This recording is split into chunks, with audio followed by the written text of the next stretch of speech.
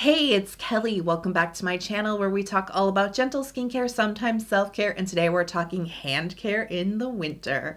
You know, hand care is important year round, but during the winter, our hands can definitely take a beating, just like our face. You know, things are a little bit more dry and that can definitely manifest on our skin. And of course, there's issues with dry, cracked hands, like um, raggedy and achy cuticles, and definitely, you know, just keeping your hands in good shape during the winter can be a struggle. So today I want to share a couple of different tips and tricks and strategies for keeping your hands in good shape in the wintertime, but really year round. If you're so ready, give the video a big thumbs up and let's jump right in. Now, when it comes to hand care, it's actually really similar to the way that you take care of the skin on your face. So, we want to kind of take all the knowledge that we have about skincare and face care and really apply those techniques to the hands, starting with cleansing.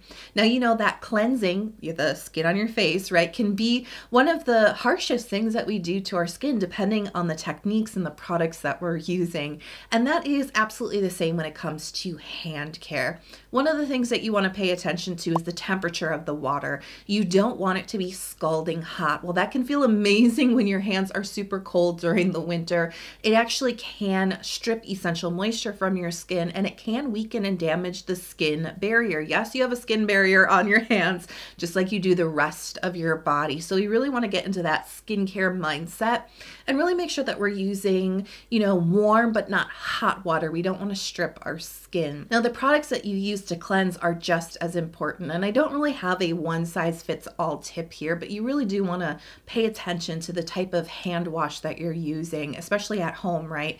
Because there are some hand washes out there that can be a little bit more drying, a little bit more stripping for the skin, just like face cleansers, right? So you got to find that perfect one for your individual skin. I personally use raw sugar. I buy it at Target. Um, there's a little bit of fragrance in this hand wash. It doesn't bother my skin, but I do tend tend to avoid things like essential oils or really heavy fragrance in my hand washes because that can irritate my skin. And immediately after washing your hands, you want to apply a good moisturizer or lotion. This is a step you do not want to skip for a couple of reasons. Number one, it's going to help to condition and nourish your skin so it doesn't get really dry and flaky. And sometimes, you know, you can develop like hard spots on your hands, like calluses and things. Really help to keep your skin conditioned and soft, but it also helps to contribute to smooth, supple, and elastic skin on our hands too. And I know that that can sometimes be a concern with the well aging journey, as you really want to take care of your hands um, because you you know that old saying where there's like you can really tell the true age of somebody by looking at their hands. So I know that that's a concern for a lot of people. Moisturizer really is the most basic fundamental step when it comes to well aging for hand skin, and you really don't need to seek out a special hand specific product? I, I find that people ask that a lot like, what's the best hand cream? And my answer really is, what's the best cream for your face? Because that's probably the best cream for your hands. And I found that throughout the years, a lot of the stuff that I love on my face, I love on my hands too. Here's a couple of recommendations for you. I love the Cetaphil Moisturizing Lotion. Um, it's really affordable. It comes with the pump, so this is the one I really like to keep right next to my sink for um, right after washing my hands. It is um, very silky and nourishing, but it's not overly greasy. It doesn't um, make my hands feel too slippery. It absorbs in really fast and easily, and I think it's just a really great, straightforward, everyday type of lotion. So I really like this one one.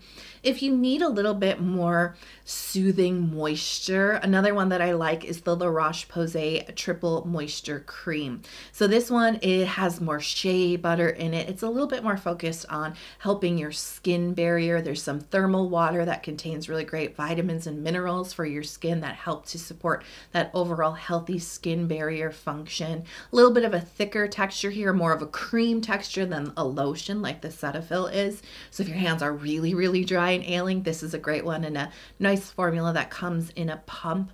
But if you need something a little bit smaller to carry around with you, you can absolutely decant your lotions and creams into uh, travel size tubes that you can throw in your, your bag or your purse or whatnot. But one that comes in a nice, easy to go size is the La Roche Posay Cicaplast Hands.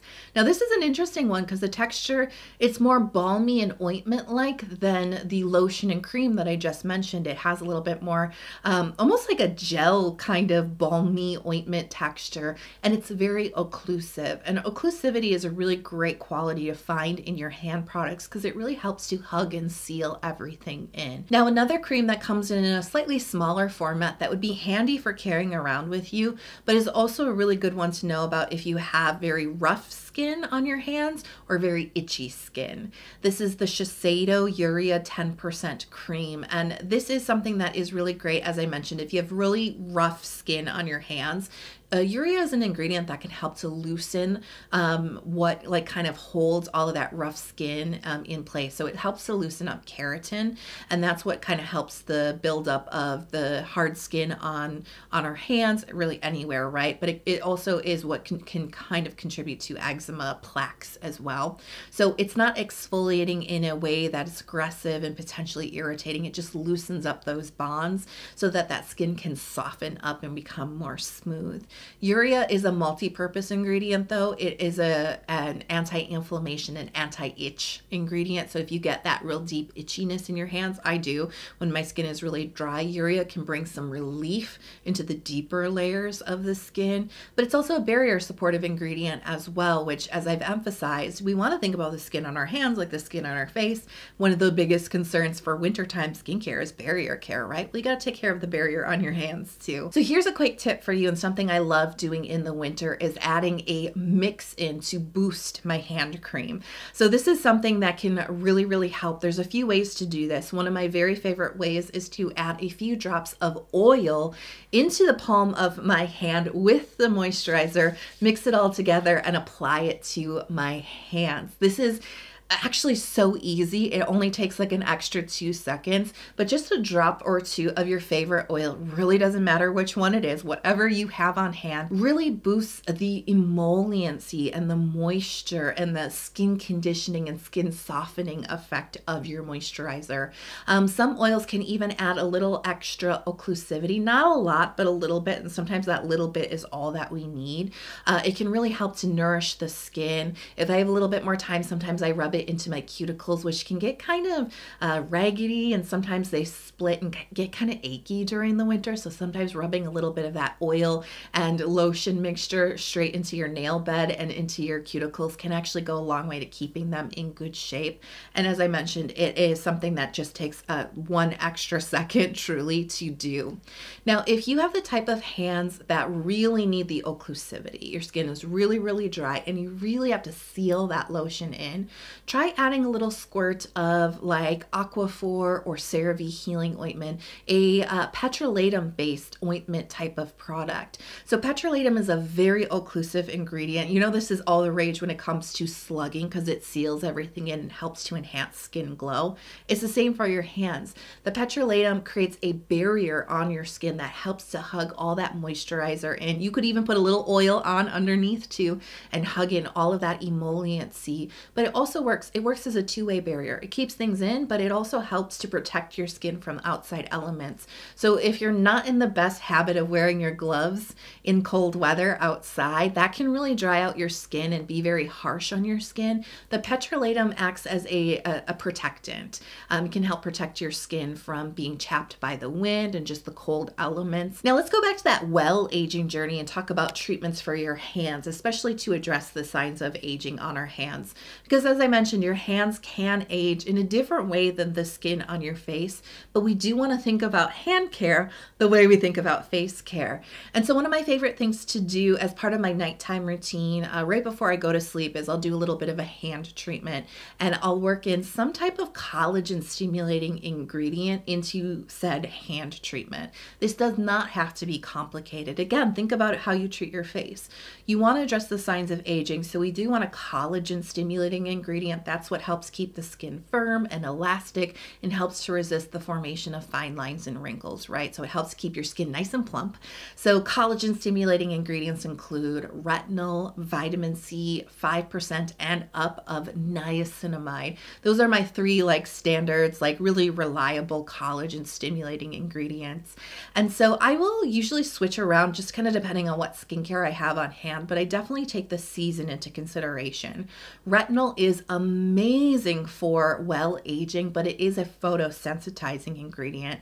And if you're not super like strict with your body sunscreen, um, in the winter, body sunscreen's not a thing for me because I'm covered up from here here, hat, right? Forehead, scarf maybe up to my nose, mittens, you know, big, nice long coat, layers, layers, layers. So my skin's not really being exposed to the sun. That's when I'm going to break out retinol for my hands. In the summertime, more skin is exposed, body sunscreen can get sweat off very easily. I usually will go towards something that is more sun protective instead of photosensitizing, like a vitamin C.